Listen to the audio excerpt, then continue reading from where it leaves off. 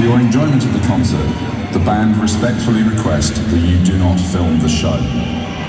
We hope you enjoy your evening with Rammstein.